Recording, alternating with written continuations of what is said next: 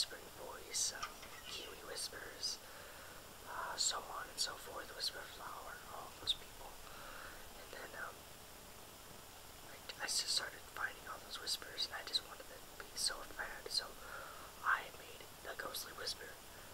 Well, it was the Ghostly Whisper at first, but I just had too many problems with uh, that channel. So